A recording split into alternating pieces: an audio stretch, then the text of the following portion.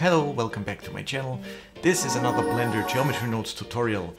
Peter recently watched my old tutorial from 2019, where I used animation nodes to randomize the position and the rotation of these pill bottles a little bit just to make it more look more realistic. And he was wondering if we could use geometry nodes now to do the same thing.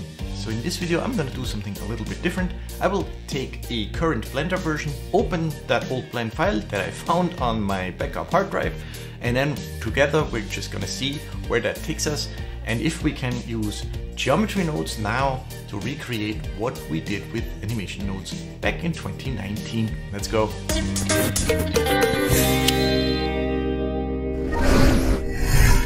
What do we have here? Okay, down here I have a shader node tree. Cool. Up here we have the camera view. This is my scene. Oh yeah, I put those cubes in here for some extra shadows to make it look a little bit more realistic. Like that thing was actually standing in a store and there's something blocking the light. So I think I'm just gonna take those and hide them. Are those working? Yeah. Okay, so down here you can see what I'm pressing. So this is uh, that. Let's go over here and switch to material view. Just look at what we have. Okay, so we're missing some materials. I think I'm just gonna hide that guy too, because I don't care. I only care about the bottles for now. Um, down here, this is the animation nodes node tree. I don't have animation nodes installed in this uh, version of Blender. So you can see this is sort of broken here. And all of these nodes are red, so we don't need any of that. What do we have over here? Um, we have the bottles collection. There is a bottle that must be the original. And then there's the animation nodes container, which just can hide that. And then all the bottles are gone. Okay. So those must be the cubes that were floating around before.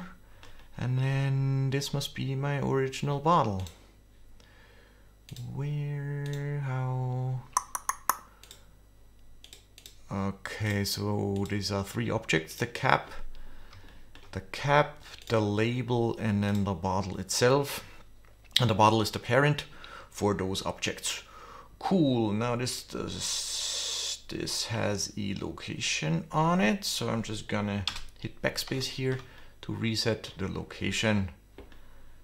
And we also have a rotation on it, so let's reset that too. Okay, so this is my original bottle.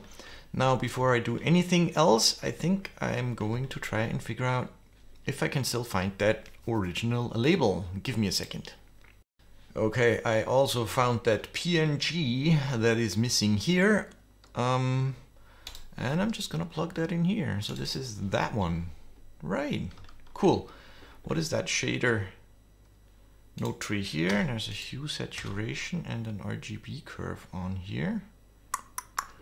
So that's that. Oh, and that is a transparent PNG, so I'm mixing it with a white plasticky material. Okay, that would be the shader. Cool, cool. Now let me do this and this, and let's see how we can set this all up. I'm just gonna split my viewport here and turn this into a geometry nodes node tree down here. Mm -hmm. Now let's uh, go to the bottle. Now let's create a new object and put a geometry node uh, uh, tree onto that. Shift A cube. Um, where is that cube now? Hold on a second. The cube. Let's move that to the scene collection. So it's out here. And let's call that, I'm just going to call it GN for geometry nodes. And new node tree I'm not going to use the cube, so we don't need this. I will um, create some sort of grid. Am I going to use a mesh line, mesh primitive? Could use a mesh line, or I think I'm going to use a grid. Okay, so what I'm thinking is I'm interested in vertices so that I can use geometry nodes to instance the bottle onto those vertices. Okay, grid. Let's see what that looks like. That's the grid. Okay, let's make it as wide as this. Maybe look at it from top view and uh, a little deeper. And then we want vertices, you know, before I'm, I'm just gonna start instancing stuff so I can see something. Instance on points. What do I want to instance? I want the bottle, but the bottle is three objects. So I'm gonna select those, um, move them to a new collection, call it bottle. Okay, so I don't actually, I don't think I need this. This is just, there's some background stuff in the, in this collection. Okay, I'm gonna keep that. Except for that, I wanted to hide that. And what do we have here? We have the bottle collection. And now on this geometry nodes thing here, I can go shift A, input collection, the bottle that I just created and use that geometry to instance. Ah, and now we can see this grid. Okay. So from top view, we have to make this like that and maybe like that. And maybe, how do I do this? Maybe I need a second grid. I'm just gonna do it like this. Bring that in. Okay, and then I will um, I will do another grid and a geometry join node, joining those two together. And then I have another grid, but it's in the same location now. So I need a transform node for this one. And I will transform that one over like that, and maybe over like that. Now let's get more bottles in here. Okay, that was be it would be this one. And then we're gonna do six for that one. Is that correct? What do we have? No, I want six for that one and seven for that one, I think. I'm not sure. What do I want? Oh, I also have to make this. Hmm, hmm, hmm, okay. So let's see if we can sort of just eyeball this so that we can fill out this shelf a little. Now our original bottle is still here. That's this one. We don't need to see this um, in viewport or render. Okay, so this gives us this grid of bottles. Now we want to transform the whole thing. We want to move it down a little. Okay. Then we instance our bottles onto that grid. Cool. So we already have that done. Nice. Now for the rotation, they're all facing the wrong way now. And we have this rotation input here on the instance uh, on points node. So if I take the Z, I can rotate them all 90 degrees to make them face forward. Okay. And now we want to randomize this rotation a little bit. That's the entire thing here is to make to make it look less perfect. Because if stuff is too perfect, then it looks CG and we don't want that. We want to randomize the position of each bottle a little bit because no human could place all of these bottles perfectly and also the rotation. So we want to randomize this rotation a little bit. I think this is going to be quite easy. We need some sort of a random value. Um, what do we have? Float integer vector. I'm gonna take a vector, put that in here. Cool, yep, it works. So each point each instance gets its own random vector, but of course we don't want this. We want something only on the z-axis, and I'm sure this is going to be radians. Yep. Okay, so we, we have to turn them 90 degrees, which would be pi divided by 2. And if I copy that and paste it in here, now they're all facing forwards again. And if I take this one and turn it down a little, and this one and turn it up a little, then we get some random rotations. So if I look at it straight on, you can see they're all not all facing perfectly forward. Maybe we want to have them face almost perfectly forward, but not quite. Just a little bit of randomization. Uh, that looks pretty good. I think this looks awesome. Cool. Um, how about I split this and turn this into a rendered view? How about that? Switch off overlays. What's happening here? Let me just find that HDR. Okay, I, I found the same HDR and I replaced it and it looks different, which is okay, but so that's that's that. We have that rendering over here. I don't know what settings I had here. Color management. Well, the order here is all. I guess that's what happens when you open an old file. Also, I don't have the workspaces up here like the geometry nodes workspace, but I don't care about this right now. We could, however, switch on viewport denoising. Think that would be nice. Okay, so if we look at it from the front, cycles rendering, this looks nice. Okay, now how do we randomize the position? Because now this is all way too perfect, right? Camera view. Oh, camera view, that's an animation, isn't it? Yep, that's one, just, just a camera move. Okay.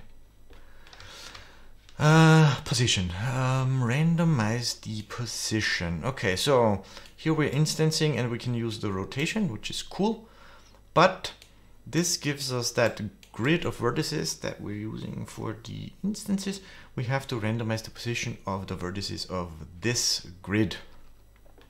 Cool. Uh, we do that by using a set position node. Okay, so we're setting the position of the vertices of this grid.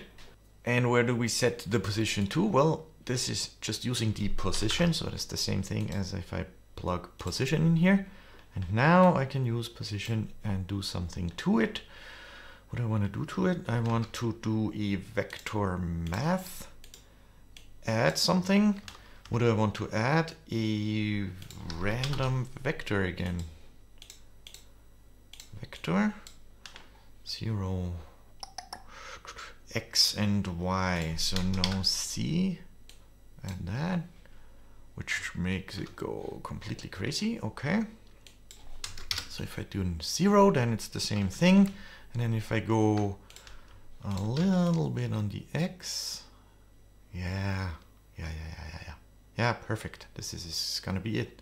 A little bit to the left maybe minus 0.05 and same thing on the y. And then 0.05 is this going to be too much? We don't want them overlapping like this here. This is obviously not possible. So maybe this is a bit too much. So let's do 0.4 and 0.4 here. Okay now we still get some overlapping here, but we can just play with the seed value until we have a random distribution. That's not overlapping. Yeah, this one looks pretty cool. Okay, so now it looks like a human actually put those bottles onto that shelf. Random positions, random rotations. I think we're good. Awesome. That's an easy node tree. Now, of course, we have a second shelf down here. How about we try and get something down here? What's the easiest way to do that? Let me just clean this up a little bit. So here we have that here. This is our grid. Ah, this is going to be easy too. We just take this grid. Mm -hmm, mm -hmm, mm -hmm. Take this grid, transform it, and join it back on here. So now we have two sets of bottles and the second set we simply move down on the z-axis so that they're standing on this shelf. Like maybe like that. Cool. Now let's check out something. Is this now randomizing? Yeah of course it's randomizing the entire grid that we're plugging in here. So we get completely different positions down here and different rotations. Cool. That's it. This would be the node tree. Um, so let me just recap real quick. Uh, first of all, I put the bottle, because it's three objects, into its own collection. So I can use that collection in here for the instances, right? So I'm instancing the whole bottle with the cap and the label. So that's the first thing. The, the second thing is I created a new object, which I'm not even using its geometry. I'm just using that for this whole instancing thing.